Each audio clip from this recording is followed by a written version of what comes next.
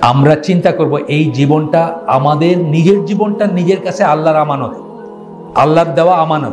এটাকে আমরা ওয়েস্ট করব না। এটাকে আমরা ধ্বংস করব না। এটাকে আমরা ক্ষয় করব না। এটাকে আমরা ড্রেনে প্রবাহিত হইতে দিব না।